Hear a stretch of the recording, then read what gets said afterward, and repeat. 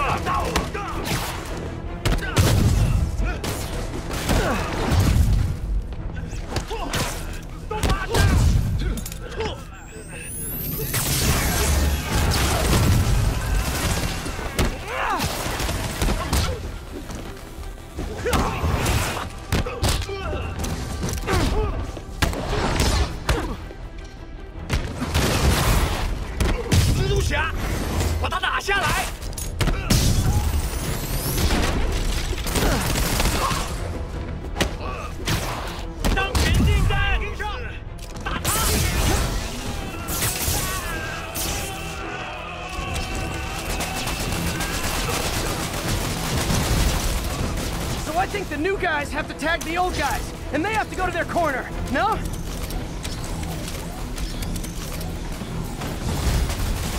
Be honest, you were all waiting next door until I thought I'd won just to be mean, weren't you?